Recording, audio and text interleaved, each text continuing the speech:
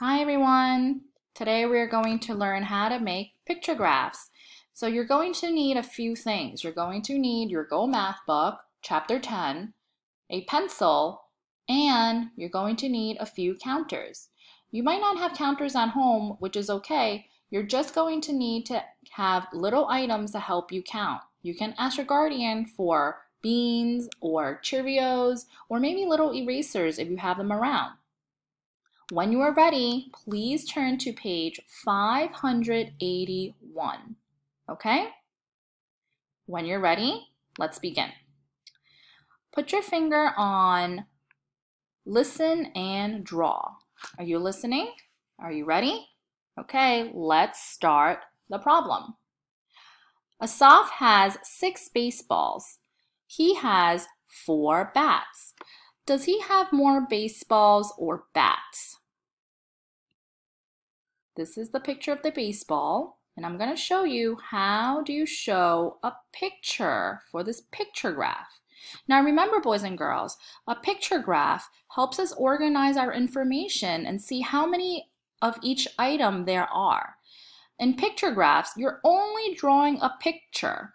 You're not drawing or writing any numbers in these boxes. So you're just going to draw the following to show your work one, two, three, four, five, six. Okay, now you try. Okay, now we are going to show you how to draw the bats. I'm not going to draw pictures of actual bats here. I'm just going to draw the picture of the counter. Are you ready? One, two, three, four. Okay, I'm going to give you a second there. You can draw your picture now. And then when you're ready, I will read the third part of this problem.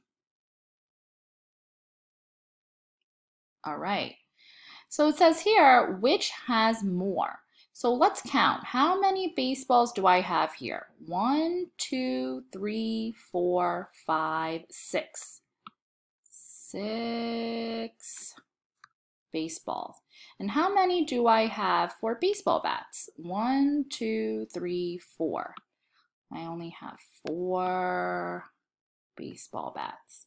So you can see here that there are more baseballs than baseball bats.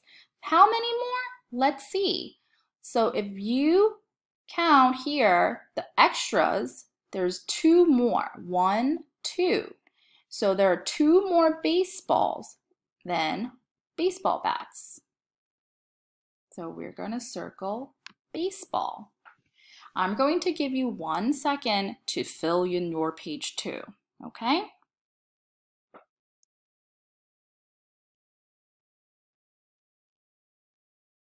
When you're ready, you're going to turn to the next page and we're going to work on some problems on how to create a picture graph. Now remember, in this picture graph here, it shows that there are more baseballs than baseball bats since there are six baseballs than, and four bats. All right? When you are ready, we're going to turn the page. Okay? Okay, boys and girls, so now turn to page 582. We're going to work on the model and draw. The problem says, are there more black or white sheep in the picture? Make a picture graph to find out. So let's look at the picture that we have here. Look at all the sheep that are in the meadow. So now let's start with the black sheep. How many black sheep do you see in this picture? Let's count. I'm going to use my pencil or my magic pencil to cross out the black sheep that are in this picture. So you can do it too with me. Are you ready? Okay, let's start. One, two, three. To show this information, I'm going to draw circles to show how many sheep I crossed out. Are you ready? One, two, three. There we go. Now it's your turn. Are you ready? You're going to fill in this part here. How many white sheep do you see in this picture? I'll give you one minute to draw your picture, okay? You may begin. Remember, each circle stands for one sheep, okay?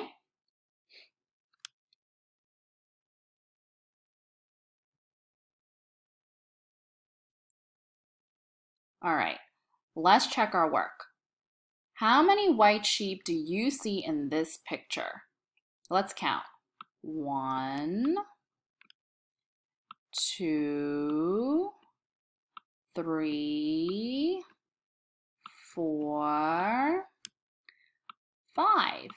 There are five white sheep in the meadow. So now I'm going to take this information and I'm going to draw circles to show each sheep that I crossed out. Remember, there are one, two, three, four, five. Five white sheep in the meadow. So I'm going to draw five circles. Are you ready? Let's begin. One, two, three, four, five.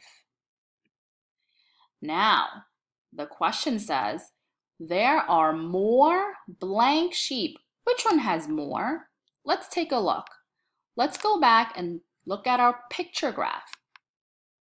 Let's count the black sheep. One, two, three. Let's count the white sheep. One, two, three, four, five. I'm going to write my number right here to remind me. Right here. And I want you to do the same too. So now, which one has more? The black sheep or the white sheep? The white sheep has more. So you can see here, there are more white sheep than black sheep. There are more white sheep than black sheep. There are two more right here. So I'm going to write the word white. W H I T E. Can you do that too? I'll give you one minute to fill this in.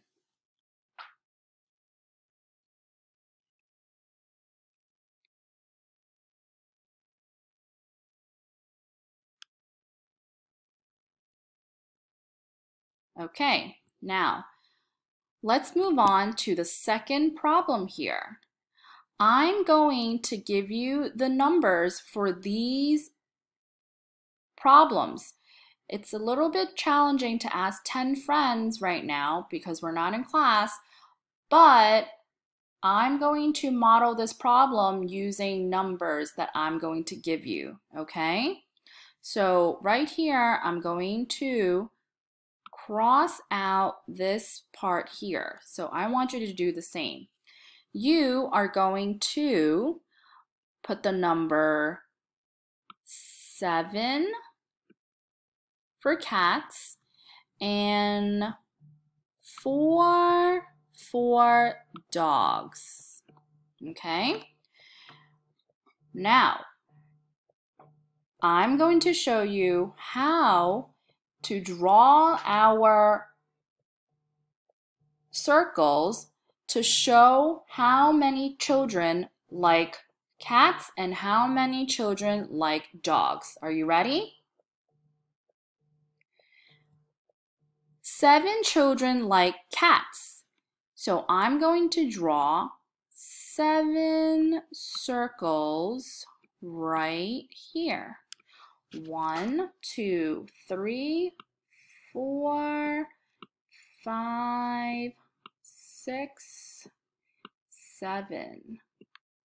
Now, for dogs, I'm going to have four circles. Remember, each circle stands for one child, for one person. Since we're unable to ask 10 people right now, Ms. Chan is going to give you the numbers to help you out for this problem. Okay? Here, we have all our information filled out for cats, and we have all our information filled out for dogs. Let's start answering our questions. How many children chose cats? Let's go back up here. Let's see, how many like cats? Seven. Seven children like cats. And how many children chose dogs? How many children? Let's count. One, two, three, four. So four children like dogs. Which pet did more children choose? Cats or dogs? Hmm, that's a tricky one. So let's go back and take a look at our pets, cats and dogs. So right here, it looks like a lot more like cats, all right? There are three more who like cats compared to dogs. Only four like dogs, all right? So now I'm going to circle the picture cats and voila! we made our picture graph and we showed our favorite pets. Okay, boys and girls, let's take a pause here and I will continue in one minute and have you finish this page all by yourself first. Okay? Okay, now boys and girls, you're going to turn to page 583 and you're going to complete this on your own page all by yourself. Now, I know it says that you should ask 10 friends on top here, but you can ask your family, whoever is home to help you with this problem. And when you're finished, you can also complete the next page. It's the problem solving and applications page, okay? When you are finished, I want you to take a picture of your work and send it to your teacher. And make sure when you're finished to have some someone at home to check, okay? Alrighty,